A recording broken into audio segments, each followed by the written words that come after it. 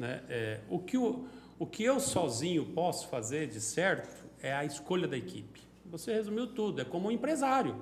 O empresário, ele vai escolher quem vai trabalhar com ele.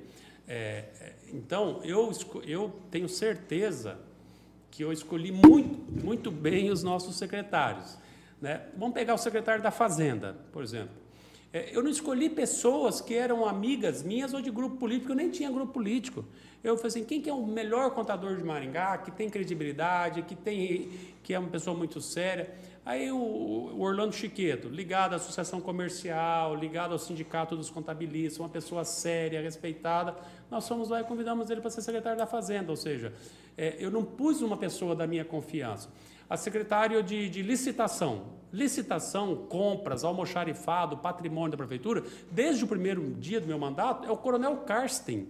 Coronel Karsten é um militar da reserva altamente sério, super rígido, com destaque na polícia militar, com uma conduta absolutamente libada. É quem eu levei, eu nem conhecia ele. Eu vou levar uma pessoa como essa, que é um coronel ilibado, que é quem vai cuidar das nossas finanças, das nossas compras, das licitações. E assim posso citar vários outros secretários. Né? É, é, talvez um secretário ou outro, mas eu já tirei lá atrás, graças a Deus. É, já que... teve um de, uns desprazeres. Ah, mas eu acho que não foi muito bem, não. Teve um, uma decepção que eu tive de um secretário, mas de é, tantos né? secretários. Sim. Mas é importante deixar uma coisa clara.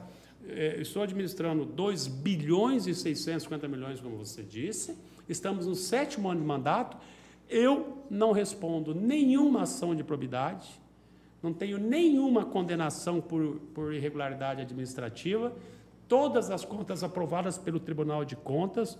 Isso é um caso raro, Eduardo. Eu estou falando para você, porque se você pegar ex-prefeitos de Maringá, todos eles têm ex-prefeito que ficou quatro anos, contas bloqueadas até hoje né, com processos, com condenações. E não são poucos. Né? São os ex-prefeitos de Maringá, praticamente todos têm processo na justiça, têm condenação, respondem até hoje. Eu não respondo. Então, o que eu quero dizer para você é o seguinte: você tem que ter integridade na condução, escolher pessoas sérias, honestas e competentes, e aí a coisa vai acontecer. Agora, não é fácil.